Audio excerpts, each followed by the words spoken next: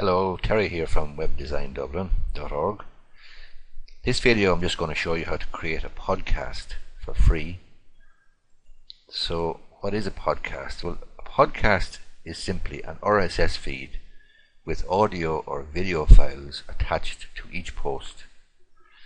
Podcast is a great way to allow visitors or subscribers to your website to listen to all of your audio content or watch all of your videos in one place.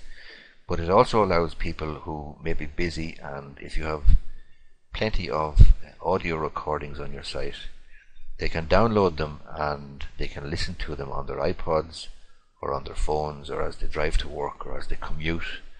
Uh, they can watch the videos as they commute on you know public transport or listen to it in their car stereo as they drive to work so that's basically a podcast, and it's an essentially uh, an alternative form of representation of your content uh, from your site, and it's a good way to get new readers and new backlinks.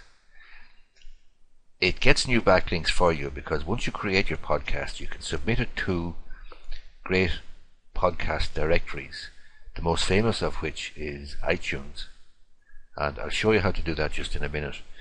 But what you end up with is a great variety of backlinks to your site from many, many different sites across the internet, podcast directories.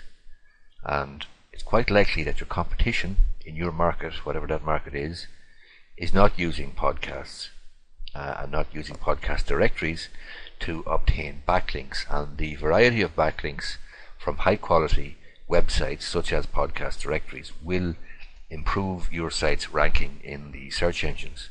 Let's just take a look now at how to make a podcast for free.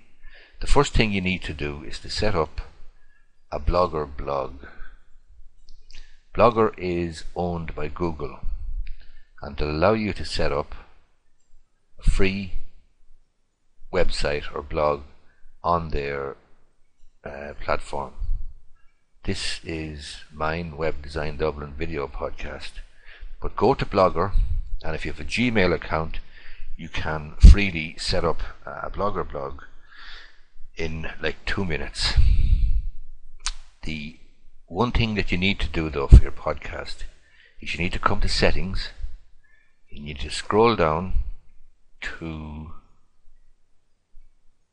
the where is it all? Oh sorry yeah. You go to settings and you go to formatting.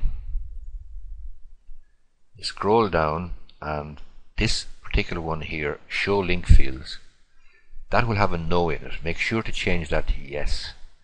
Okay so show link fields change it to yes.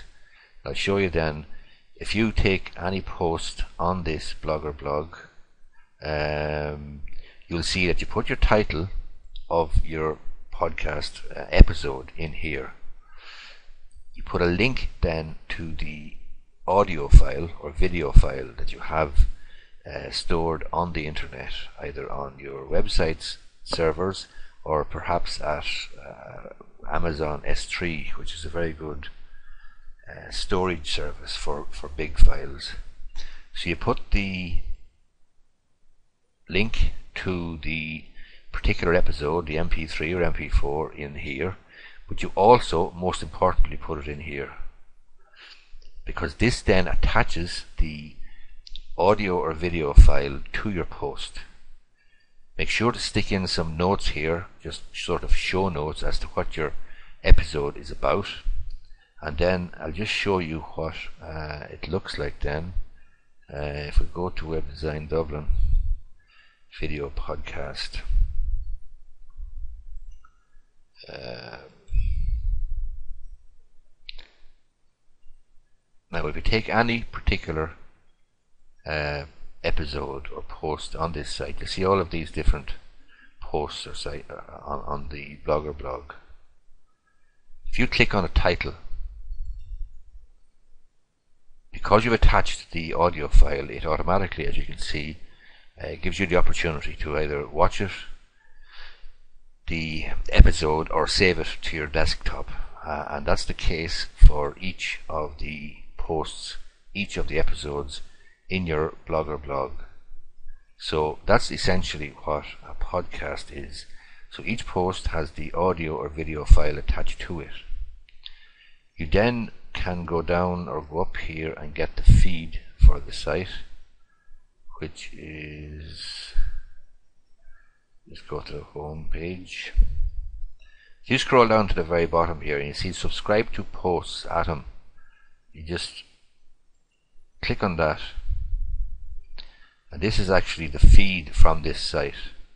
And you can see that each post has the mp4 or mp3 or whatever video or audio file attached to it. And your subscriber can then download it or watch it or whatever and they can read then the source notes the page notes um, about each particular episode.